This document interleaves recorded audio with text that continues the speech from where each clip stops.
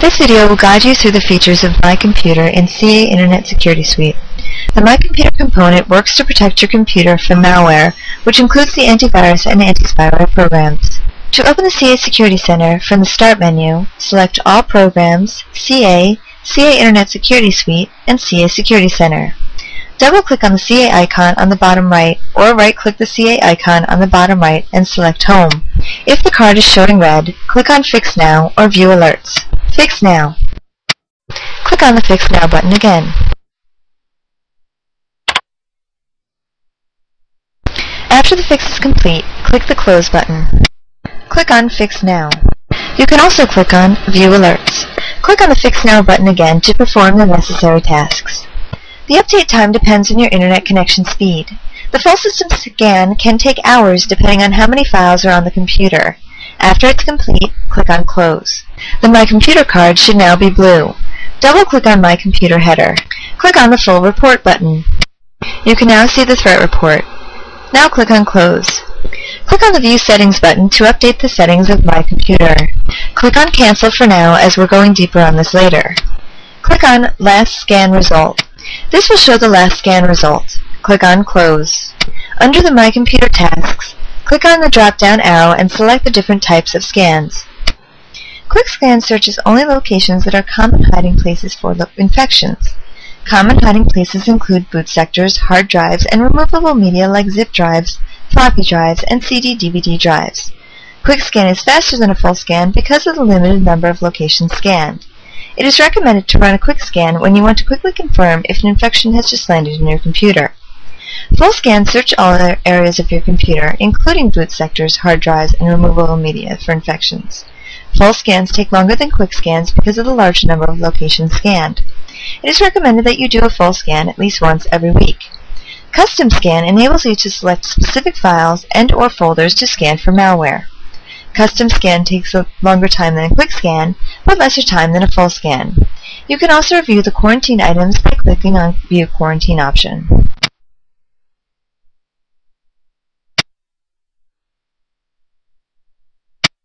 For example, we're going to scan the D drive only. Highlight D drive and then click OK. Click Scan to start the scan. You can also display Keep My Computer Safe window by clicking on the second item on the bottom that looks like a computer monitor. We can go to the Report window by selecting View Full Report on my computer card in the CA home screen. This will take you to the following, Keep My Computer Safe, which has three options, Report, Settings, and History. Under Reports, you can find the statistics of the number of threats detected, the type of threats detected, and tips on how to use the CA Anti-Malware section of CA Internet Security Suite. Under the Settings tab, we have Threat Settings options. We have the following settings under the Threat Settings.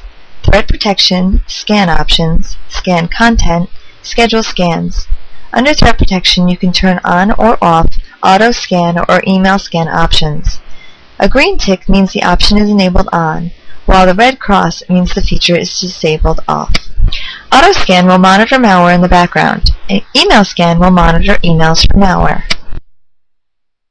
Under Scan Options, you can change settings on how CA anti-malware should react when threats are detected. These are the default settings, but you can change it according to your needs. If you click on Enable Network File Scanning, CA will also scan external devices as well.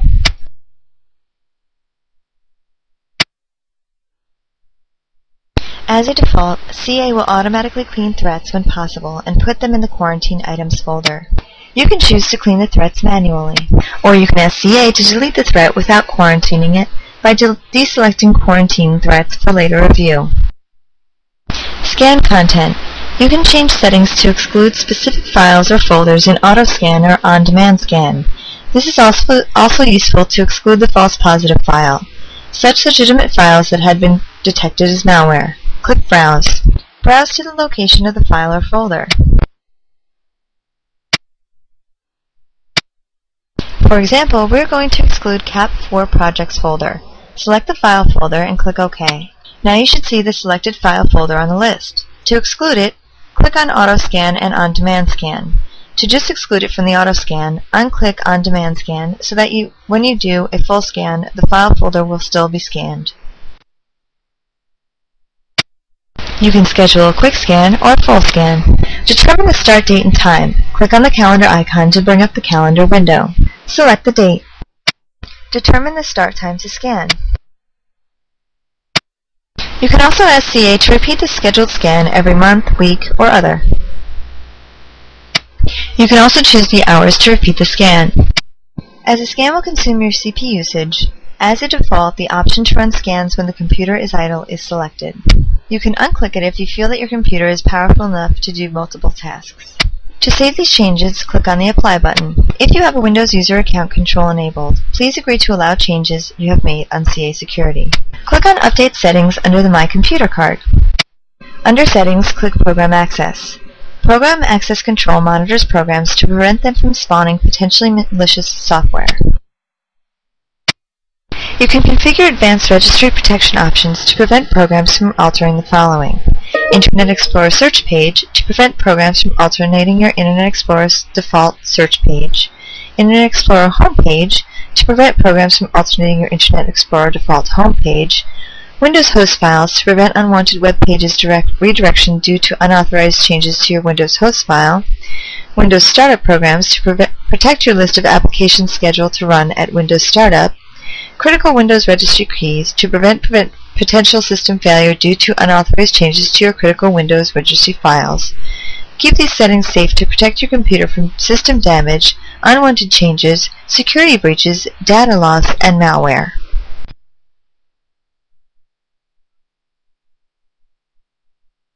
To enable program protection, click on the green tick. This will prevent programs from spawning other programs when executed. As a default, this feature is disabled to allow browser to bring up extended programs. Click on the green tick to enable code injection protection. As a default, this option is disabled to allow full access. Please keep the settings as default unless you have advanced knowledge. To increase or decrease the access that malware and other threats have to a specific program or security levels for a program's access to Windows components. Click on a list to find whether the program is listed there or not. Click on Browse if you cannot find the program on the list. Locate and select the program you want to configure. Navigate to that program's location.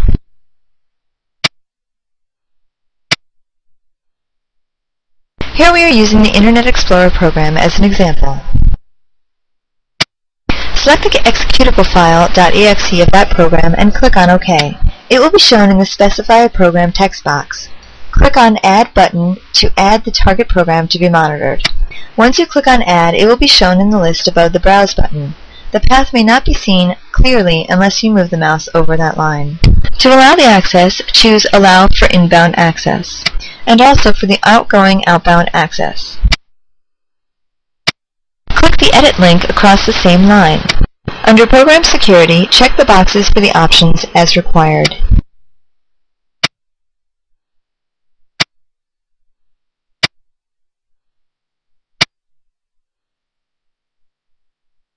Scroll down. Under Program Groups, check the boxes for Trusted and Safe Apps.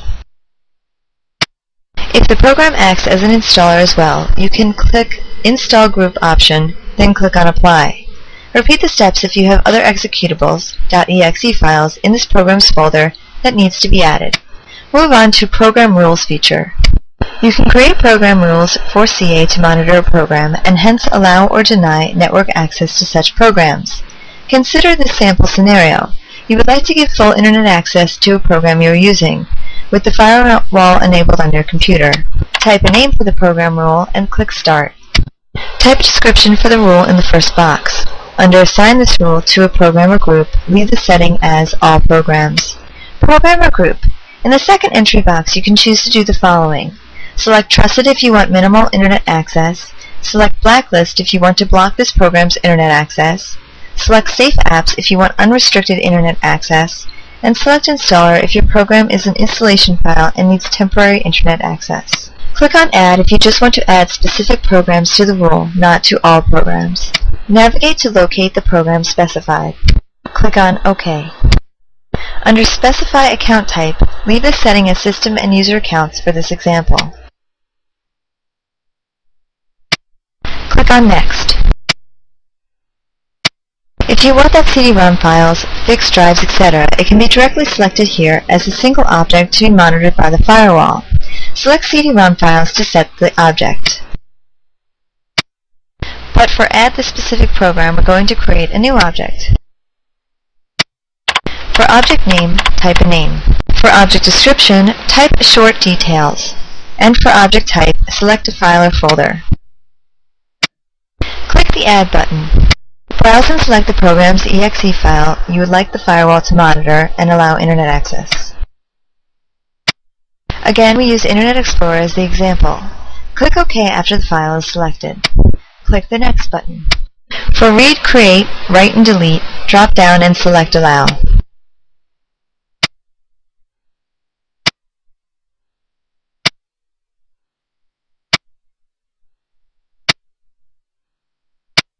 You can also click Send Me Alert if you want CA to give alerts when the program is accessed. Click the Next button. Select Run always to enable this rule during all days at all times, or you can specify the day and times for the rule. Click on the Finish button. Click Close. You should see the program rule you just created.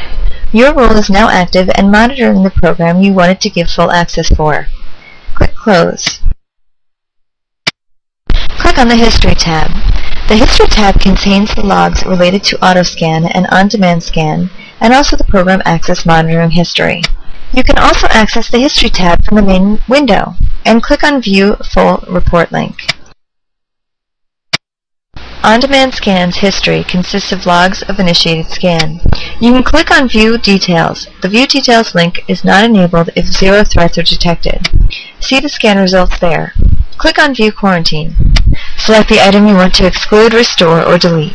You can click on Select All to deselect all the items on the quarantine item list.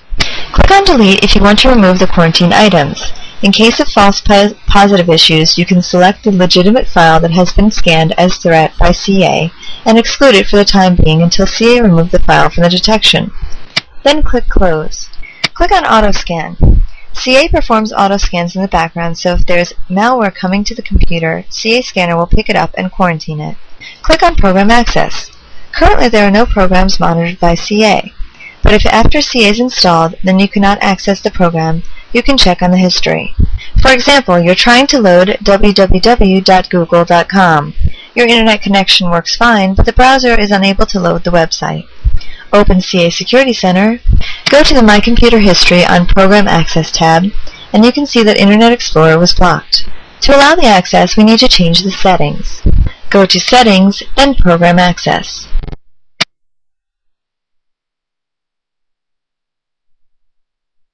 Scroll down on the program list, and allow Internet Explorer.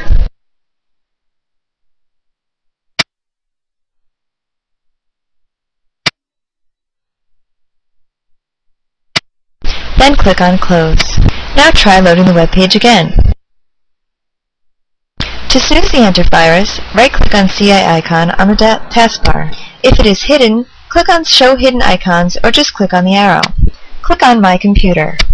Click Enable Snooze. Agree to the message on User Account Control if it's enabled. Type in how long you want to snooze CA antivirus for, and click on the Snooze button. Windows will alert you that CA Antivirus is turned off as you have snoozed the scanner. If you need to enable CA Antivirus again before the time ends, find the CA icon on the taskbar. Right-click on the CA icon, again choose My Computer, then Enable Snooze. Click on Wake Now to enable the CA scanner.